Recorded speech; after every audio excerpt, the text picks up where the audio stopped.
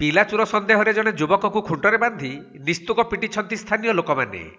ମିଳିଥିବା ସୂଚନା ଅନୁଯାୟୀ ଭଦ୍ରକ ସହରର ଛପୁଲିଆ ନିକଟରେ ଜଣେ ଯୁବକ ସନ୍ଦେହଜନକ ଅବସ୍ଥାରେ ବୁଲୁଥିଲେ। ତେଣୁ ସ୍ଥାନୀୟ ଲୋକମାନେ ଉକ୍ତ ଯୁବକକୁ ଅଟକାଇବା ସହ ତାଙ୍କର ବ୍ୟାଗ୍ ଯାଞ୍ଚ କରିଥିଲେ। ତେବେ ବ୍ୟାଗ୍ରୁ ଲୁହାରଡ଼ ସହ ଅନେକ ମାରଣାସ୍ତ୍ର ଜବତ ହେବାରୁ ସ୍ଥାନୀୟ ଲୋକମାନେ ଯୁବକକୁ ମାଡ଼ ମାରିବା ସହ ଖୁଣ୍ଟରେ ବାନ୍ଧି ପକାଇଥିଲେ। ପରେ ପୁଲିସ ଖବର ପାଇ ଘଟଣାସ୍ଥଳରେ ପହଞ୍ଚି ଖୁଣ୍ଟରେ ବନ୍ଧା ହୋଇଥିବା ଯୁବକକୁ ଉଦ୍ଧାର କରି ଥାନାକୁ ଆଣିଛନ୍ତି।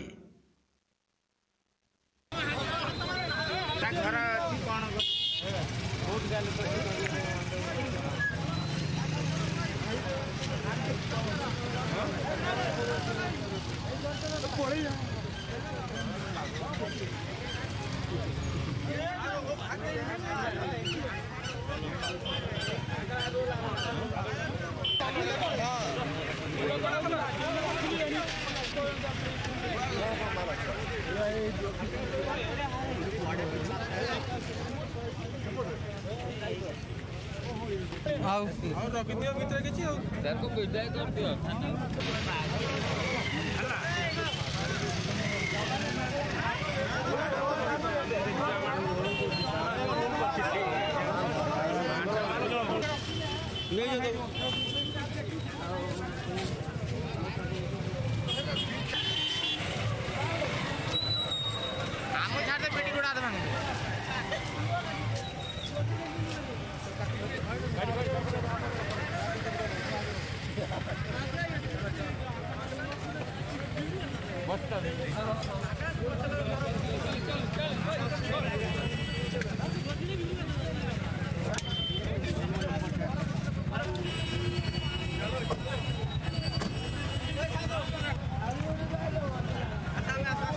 ଭଦ୍ରକ ଜିଲ୍ଲାରୁ ନରେଶ ମୁଦୁଲିଙ୍କ ରିପୋର୍ଟ କୋଣାର୍କ ଲାଇଭ୍